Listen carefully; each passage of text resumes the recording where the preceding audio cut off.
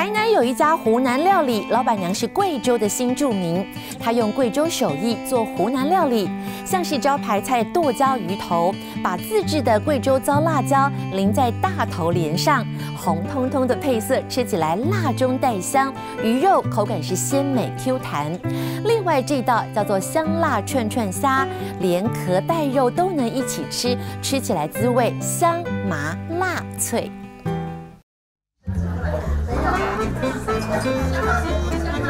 他在台南的湖南菜，一到用餐时间就坐满闻香而来的客人，香辣带劲，让人吃一口就上瘾，很好吃。老乡家好朋友，只要说我休息的时候，我都会带着朋友啊，这都是我们的朋友。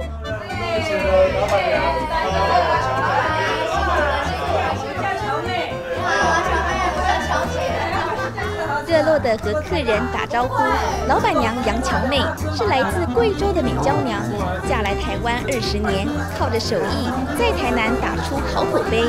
常有因为大陆姐妹因为都会寻找我们这样子的味道嘛，因为没有什么改良，很没有改改很多了，我就坚持做我自己想要吃、喜欢吃的味道。台菜剁椒鱼头，用台湾在地的大头鲢，它有一套挑选准则。咸水的，它的鱼的肉质比较细嫩，哎，它也比较的腥味不会那么重，就是洗干净啦，好，重点就是洗嘛。鱼头其实新鲜啦，啊，新鲜就好吃了。搭配自制的手工泡椒，把辣椒剁细，做成贵州家家户户都可见的糟辣椒。这是我们自己从小吃到大的糟辣椒。啊，阿姨所谓就像人家讲的湖南的那个剁椒，我们贵州人叫糟辣椒。啊，做法其实都是一样的。辣椒是有季节性的嘛，好，我们就会把它腌制起来。啊，腌制起来你可以放很久都不会坏。啊，一年四季都可以吃。在坛子里腌一个月就能使用，再入锅翻炒出满厨房的辣香。这一味搭配鱼头，就吸引了许多老主顾。有印象最深刻的客人就是来一个人就点一颗鱼头吃，就是那么大颗的鱼头。从南头开车两三个小时跑来这边吃，又有屏东的，哦，他们小孩都很会吃辣。吃到我们家鱼头之后，连小孩都很爱吃。剁椒鱼头喷香上桌，红彤彤的很诱人食欲，厚实的鱼肉鲜美又 Q 弹，辣中带香，更是让人欲罢不能。很入味，很好吃。它有分大中小辣，比较敢吃辣的你就用叫大辣。我们现在目前是叫的小辣，因为为了适合大家的口味，所以说就一定要叫小辣，大家都可以吃，最美味。这一道菜我们每次来必点。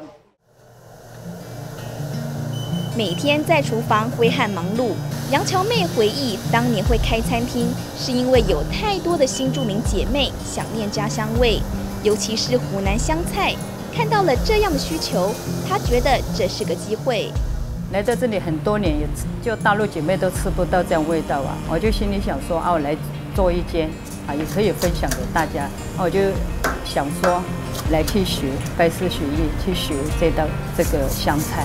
本身我是贵州人，然后为了要做的比较到地一点，我就跑到湖南去学。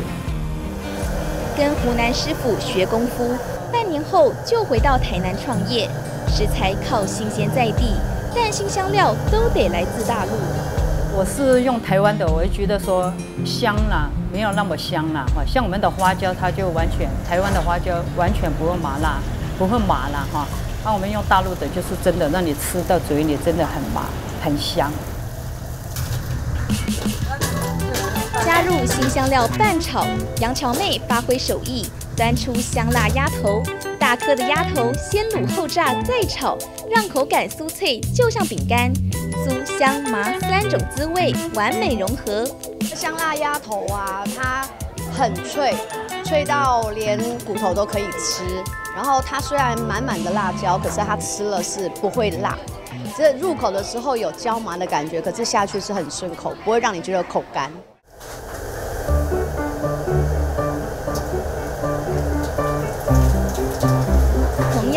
样酥脆的料理，还有串串虾，用竹签整只串起，看起来很讨喜。酥炸后再和新香料翻炒，香辣串串虾、整只虾连壳带肉都能够品尝，香麻辣脆，超级带劲。炸的很酥脆，然后辣的又刚刚好，肉质蛮鲜嫩的，嗯，很好吃，整尾都能吃。哎，我不太吃辣，但是这个辣味我还可以接受。哦，这个真的很好吃，吃下去之后一尾接一尾，停不住，真的好吃，而且味道辣的很刚好，然后你又不用剥壳，非常好吃。杨乔妹对口味很坚持，连豆腐都不用现成，因为是我自己做的手工豆腐啊，它比较特别，因为这个豆腐吃起来比较滑嫩嘛，哈，比较豆豆香味比较纯，这是我们从小吃到大的味道。把手工豆腐结合牛肋条，能吃到传统滋味的豆腐水煮牛肉，是杨乔妹推荐的必点菜。光看就很开胃，牛肉弹嫩不柴，豆腐特别软嫩，吸附汤汁，香辣入味。水煮牛是我们吃完之后呢，那个又麻又辣的口感是让我们觉得真的是很与众不同，而且特别有它很道地的那种过呃来自大陆过来的那种风味，是跟有别于台湾的那个口感，真的来值得来一试。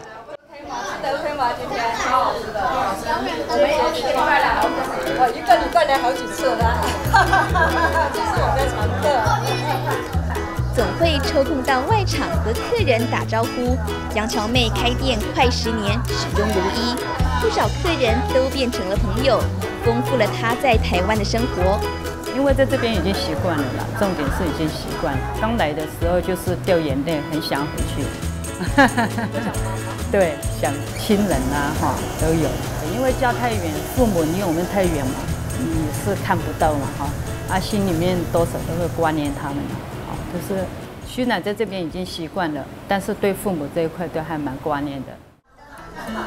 离乡背景嫁来台湾，她期许自己好好打拼，不要让父母担心，在台南这个美食战区，把香味缭绕的餐厅经营得有声有色。